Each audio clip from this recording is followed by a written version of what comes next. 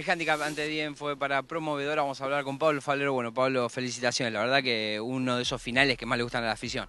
Sí, bueno, la verdad que sí, la yegua ayudó mucho, bien de menor a mayor, estuvo bastante relajada, es una yegua que es muy difícil, mucho genio tiene a la mañana, es muy, muy difícil trabajarla, se apura mucho, pero bueno, en carrera es mucho más dócil, te ayuda y bueno, una linda carrera, guapeando, poniendo todo el coraje ella, ¿no?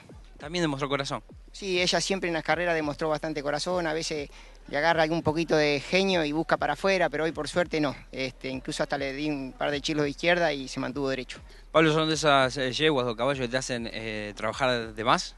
Sí, es una yegua que tenés que manejarla más que nada porque no es nada fácil andar arriba de ella, pero bueno, es una yegua que tiene bastante corazón, se suda un poco, pero, pero cuando está de 10 responde y es una yegua bastante corredora. Pablo, gracias y felicitaciones como siempre. Gracias.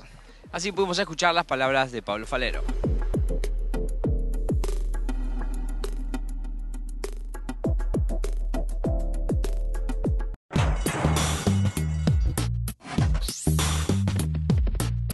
Este viernes 20, el hipódromo de San Isidro organizó una reunión que tiene como base el handicap Kendall. Ahora le damos más datos.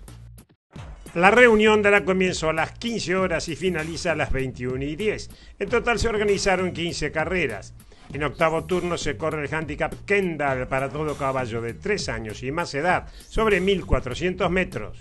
Les adelantamos que además de este miércoles 20, el hipódromo de San Isidro abrirá sus puertas el miércoles 25 y el sábado 28.